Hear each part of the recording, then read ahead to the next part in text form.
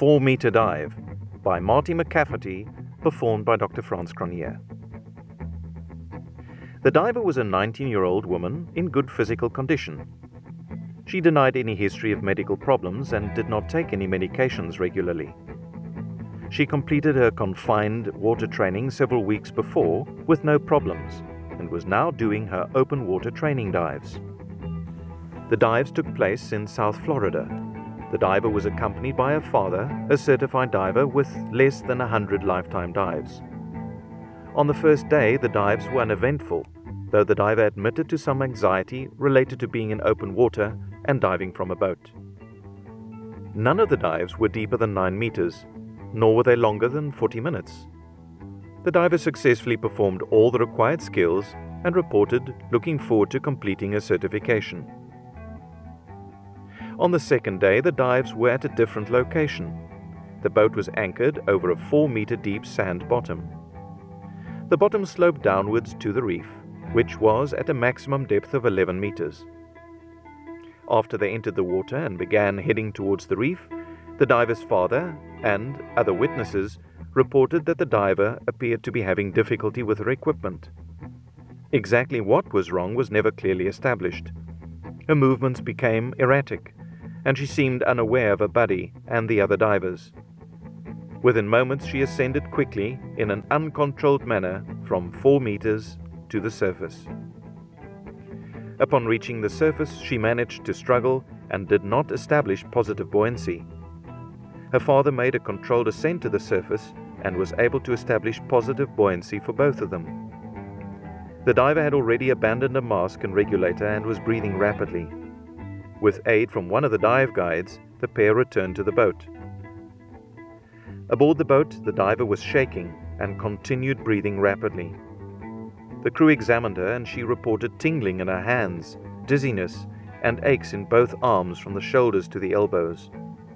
The crew placed on oxygen via demand valve. Since they were only 20 minutes from shore, the dive operator sent a small boat to take her and her father back to the dock. They were met by emergency medical technicians who continued oxygen administration at 12 liters per minute using a non rebreather mask. The diver's symptoms did not change during the five minute ride to the hospital.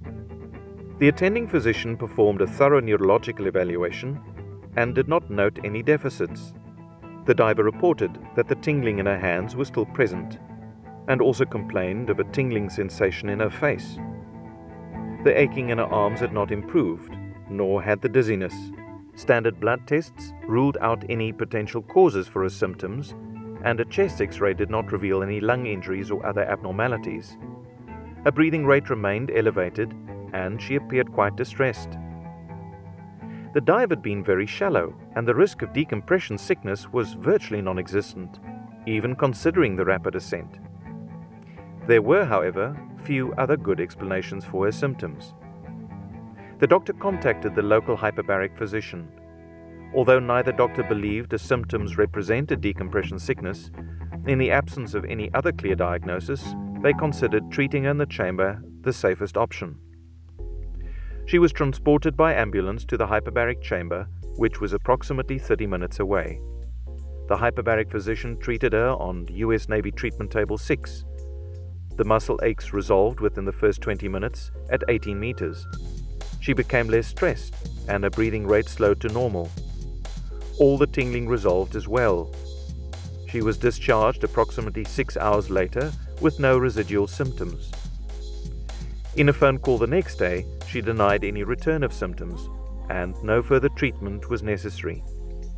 The dive profile, as reported, does not represent a risk of decompression sickness the dive was shallow, and witnesses stated that it did not last more than 10 minutes. It is highly unlikely that there was sufficient decompression stress to have precipitated DCS at the time of the rapid ascent. Furthermore, there would have been little or no residual nitrogen left from the previous day's dives. Whether the previous day's dives were contributory or not, however, will never be firmly established. The major concern with rapid ascent is breath holding, leading to a lung overexpansion injury and potentially arterial gas embolism. Based on the diver's presentation and subsequent evaluation, Her symptoms did not suggest AGE, which typically presents as a stroke. Tingling sensations and muscle aches are among the many signs and symptoms of DCS, but it is unusual for tingling to be present in both hands with DCS. Aches and pain are also potential symptoms, but these are more commonly seen in one arm or occur in larger joints, more often than in muscles. So, although DCS was extremely unlikely based on the symptoms, it couldn't be ruled out. No medical imaging or lab tests can confirm DCS.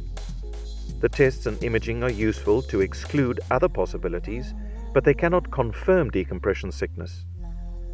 In this woman's situation, there was no clear explanation for her symptoms. Hyperventilation can produce tingling in the hands and face, and the doctor did suspect that with her struggling that may have occurred, but it would not explain the persistent ache in the arms. Retrospectively, insufficient exposure, atypical symptoms, and no objective findings exclude decompression sickness as a diagnosis. Some physicians, however, would rather err on the side of caution, and this doctor did consult another physician trained in diving medicine. Probably the most compelling factor for considering chamber treatment in the situation was the fact that treatment constitutes a relatively minimal risk to the patient. Both physicians were of the opinion that it was probably not DCS, but they still wanted to act in the diver's best interest. The fact that muscle aches improved with treatment may support the diagnosis, but does not necessarily confirm it.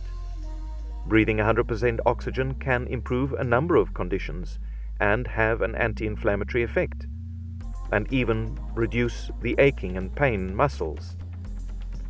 In this case, that, time, or the placebo effect may all have been factors that facilitated symptom resolution.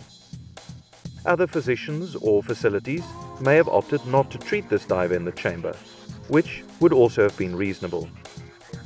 Most physicians try to make decisions that are in the best interest of the patient as always, DAN is available to divers as well as healthcare professionals to assist in the decision making process.